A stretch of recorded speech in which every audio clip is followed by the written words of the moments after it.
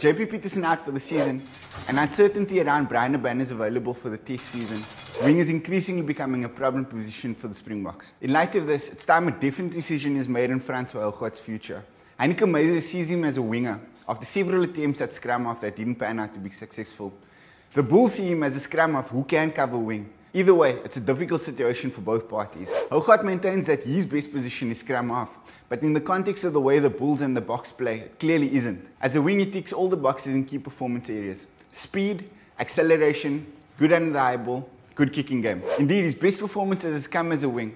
It's time the player, the franchise, and the national team sat down and come to a resolution that suits everybody, and it's the best way forward. The Bulls have picked him at nine again this weekend, but he's not a youngster anymore. He doesn't have the time to settle and shift between positions that he did at the start of his career. For the benefit of Hougaard and his teams, a call must be made immediately.